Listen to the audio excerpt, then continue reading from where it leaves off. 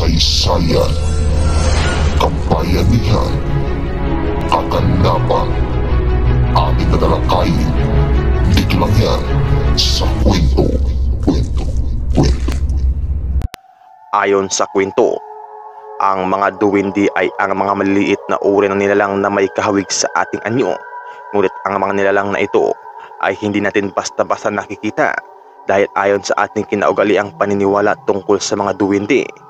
Ang mga duwindi ay mayroong sariling mundo dito sa ating mundo at ayon sa sabi-sabi, ang mga duwindi ay nagtataglay ng napakaraming ginto at ito ay nakaimbak sa kanilang tinatawag na karian. At kapag ang mga duwindi na ito ay iyong magiging kaibigan, maaari ka manong bigyan ng mga duwindi ng kanilang mga nakaimbak na yaman. Ngunit, paano nga ba makikipagkaibigan sa mga duwindi? Paano sila makakausap at makikita? Pero bago tayo patuloy sa ating kwento mga kaibigan, baka naman maaari kong mahingi ang iyong suporta sa pamamagitan ng pag-subscribe at pag-hit ng like button ng aking video para sa gayon magtuloy-tuloy ang aking paghahatid sa inyo ng mga ganitong oring kwento. Tara, simulan natin! Ayon sa mga kwentong matatanda, ang mga duwindi ay ang mga maliliit na nilalang na naninirahan kasama natin dito sa ating mundo. Ngunit hindi nga lang natin sila nakikita.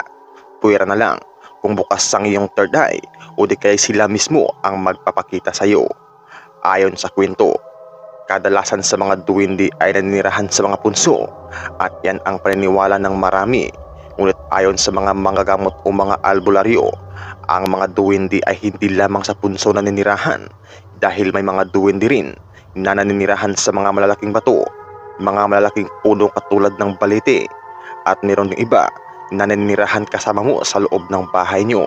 Sapagkat ang tinitirhan nila ay isang magandang kaharian na hindi nakikita ng ating mga mata na kung saan sa kaharian na kung saan sila ay nakatira nakaimbak ang sari-saring ginto dahil ang mga duwindi ay mahilig magkolekta ng mga ginto. At alam mo ba kapag isa sa mga duwinding iyan ay iyong naging kaibigan ay maaari ka nitong bigyan ng ginto kung iyong hihilingin. Ngunit ang tanong paano nga ba makipagkaibigan sa mga duwindi?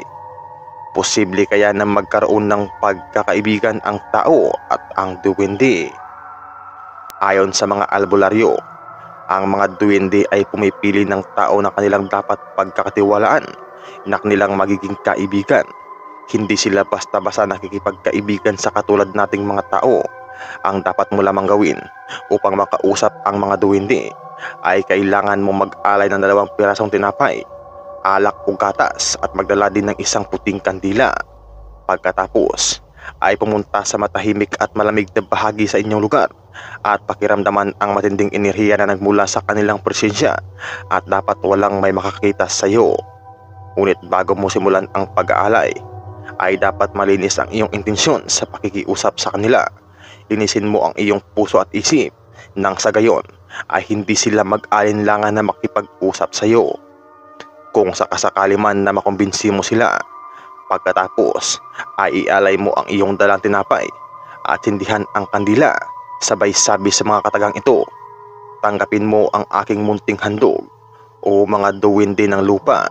Naway ito ang pagsisimula ng ating munting pagkakaibigan. Pagkatapos ay ipikit mo ang iyong mga mata, buksan mo ang iyong isip at mag-focus kung sakasakali man na napagtagumpayan mo ang pagtawag sa kanila ay makakarinig ka ng mga maliliit na busis na nagtatawanan at kakausapin ka. Tandaan, makipag-usap ng maayos at huwag humiling ng kahit ano sa inyong unang pag-uusap. At dapat makuha mo ang kanilang tiwala. At tandaan, huwag kalimutang tanungin ang pangalan ng duwindi na iyong nakakausap dahil ito ay iyong magagamit kung sakasakali na sila ay iyong tatawaging muli. Kung hindi ka nagtagumpay sa unang pagkakataon, ay ulit-ulitin lamang ito. Ngunit kailangan mo pa rin mag-ingat kaibigan. Ito ang aking unang gabala sa iyo kaibigan. Kung nanaisin mong makipagkaibigan sa kanila, magdobli ingat lang po dahil hindi po lahat ng duwindi ay mabubuti. Mayroon ding masasama at napaglinlang. At huwag na huwag kang kakain kung sakasakali man na mayroon silang ibigay sa iyo na pagkain. At huwag gumawa ng kahit maliit na kasunduan laban sa kanila. Tandaan, may apat na uri ng duwindi. Isa lang ang masasabi kong dapat mong pagkatiwalaan. Kaya sa susunod nating kwento mga kaibigan ay aking tatalakayin ang apat na uri ng mga duwindi upang maging aware ka kung sakasakali na makipagkaibigan ka sa kanila. Hanggang sa muli, salamat!